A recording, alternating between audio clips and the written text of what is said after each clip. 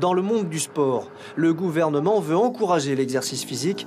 Fini de présenter chaque année un certificat médical pour valider une adhésion dans une association sportive.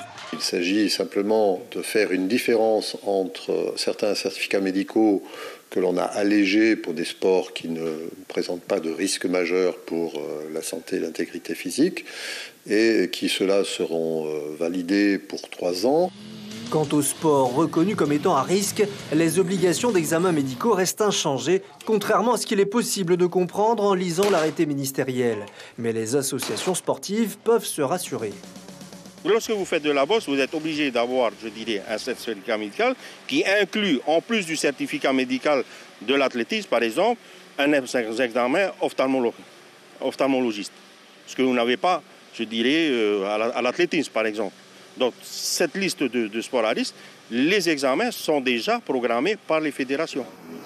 Concernant la lutte contre le dopage, l'organisme polynésien est désormais affilié à l'Association mondiale. Il faudra s'attendre à plus de contrôles et des sanctions pourront être prises contre les fraudeurs. Enfin, leurs noms seront publiés au journal officiel. Que chacun prenne ses responsabilités avant de, se lancer dans la consommation de produits illicites.